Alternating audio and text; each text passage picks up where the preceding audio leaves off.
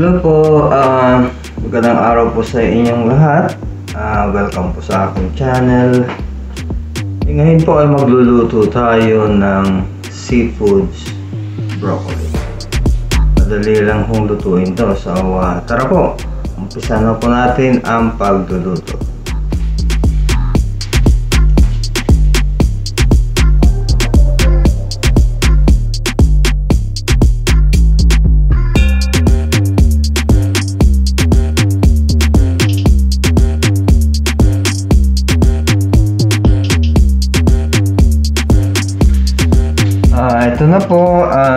Ating ingredients. Ito po ay ah, obviously, oh, beef broccoli. Ah, nalinisan ko na siya, medyo buo siya. Ah, tinanggal ko lang yung pinamatigas na parte niya. Kaya ganyan po ang itsura. 2 tablespoon na soy sauce. Meron din ho tayong um, cornstarch na dinisolve ko na sa tubig. 1 tablespoon po ito. Ito naman po yung 2 tablespoon na oil.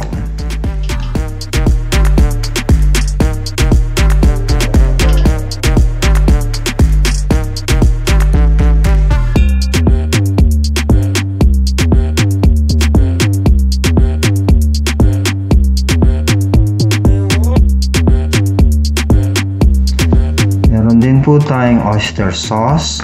1 tablespoon po ng oyster sauce. Meron din po tayong ah, liquid seasoning.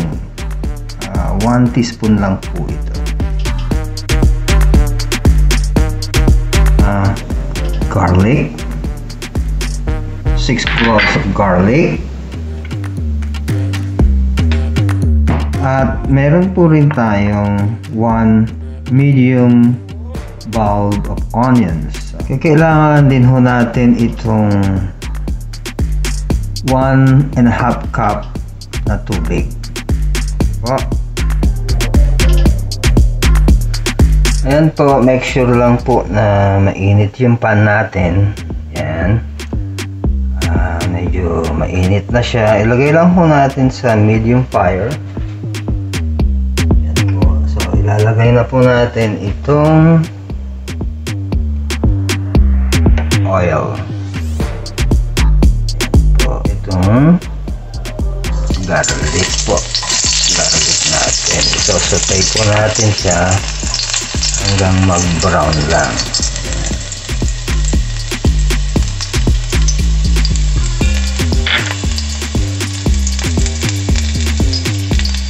Ayan, Halu-haluin lang. Ayan na po, brown siya. Eh, susunod naman natin itong onions po natin. Ayan. So, saute lang natin siya hanggang mag-translucent. Ayan po, translucent na siya. Ngayon po, isusunod na natin yung ito po yung imitation lobster. Yan po. Gigisa po natin siya. Ngayon po, pag uh, nagisa na yung lobster, yan, lalagay na ho natin itong soy sauce po. Ayan, soy sauce. Para magtalasa lang siya. Hindi ko na po siya linagyan ng asin dahil uh, baka masobrang naman alat nung may asin. Pero kung kulang po ang asin ang alat pala eh pwede nyo naglagyan ng asin o naglagyan pa ng soy sauce. Pwede rin po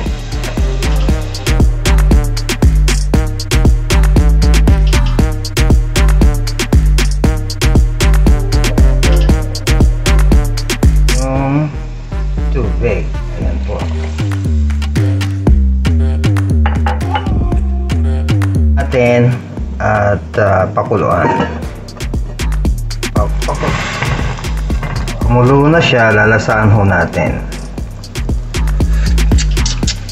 Ay, napakasarap po. Tapos po, ang susunod po, ito na yung black pepper.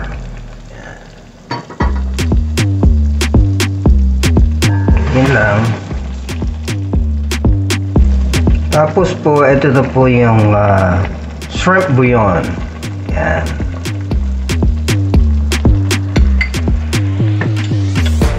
Yan lang.